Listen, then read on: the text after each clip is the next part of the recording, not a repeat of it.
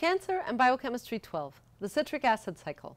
Hello, it's October 3rd, 2018, and I am Dr. Colleen Huber, here again today in this ongoing series on cancer and biochemistry.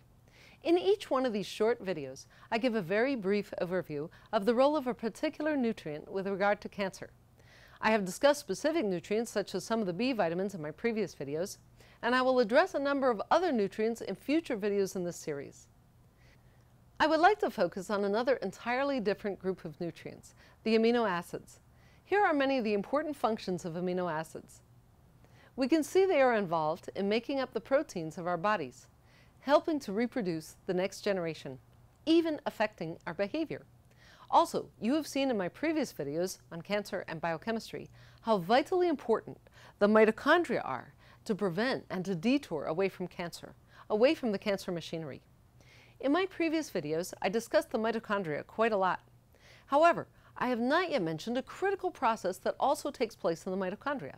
Let's now zoom our attention in, please, to the circle or oval right here. This has three names, at least one of which can strike fear into the hearts of biochemistry students.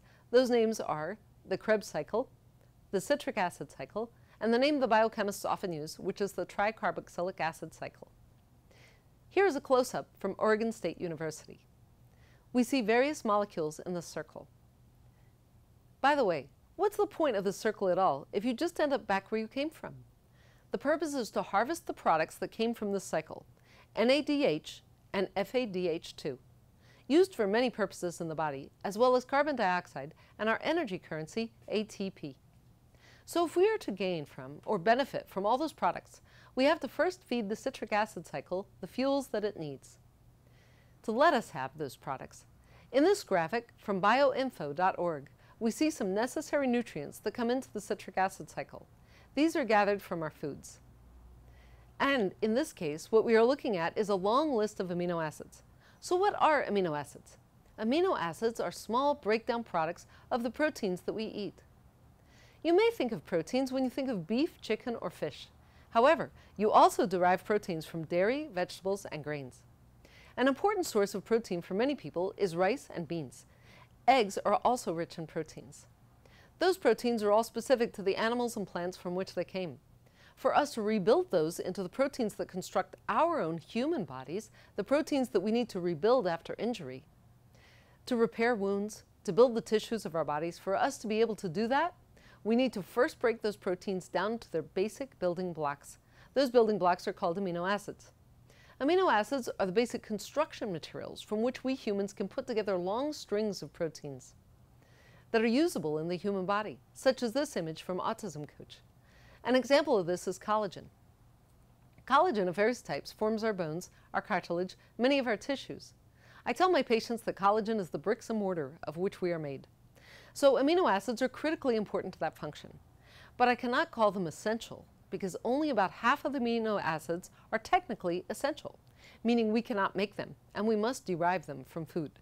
So we need to eat protein in order to obtain about half of our amino acids. Here is a list from BioNinja of the three different types of amino acids. The essential amino acids are those that we must derive from foods. We sometimes need the conditionally non-essential ones from foods, and our bodies make the, quote, non-essential, unquote, amino acids. I know I'm going through that background very quickly, but that is just so I can get to the important part.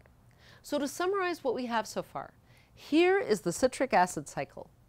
It is a necessary process to give us energy and supplies needed for the rest of our metabolism. It only can go through its process, it can only move, with the help of many amino acids. Those amino acids are summarized in this diagram. Don't bother memorizing the citric acid cycle intermediates, that is, the various steps along the circle. I will mention them briefly. Citrate, isocitrate, alpha-ketoglutarate, succinyl-CoA, succinate, fumarate, malate, oxaloacetate, and back to citrate. Or you could say this as, can I keep swimming swiftly for miles on course?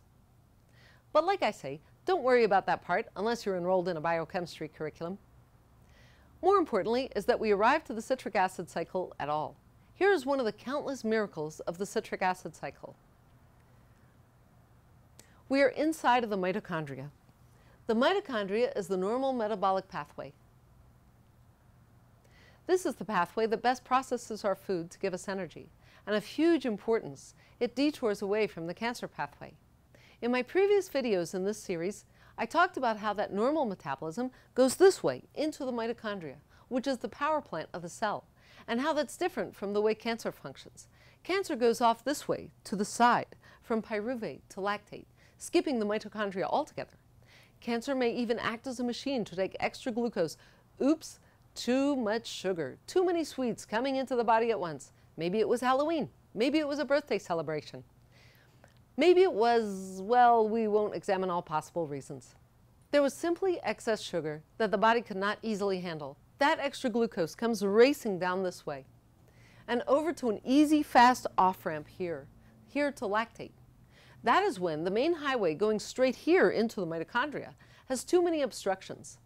One of those obstructions could well be insufficient amino acids to churn the process, this process of the citric acid cycle. That would back up the machinery right about here where pyruvate is converted to oxaloacetate. And then we are stuck, mired in this pathway here. Unfortunately, the pathway that favors cancer metabolism.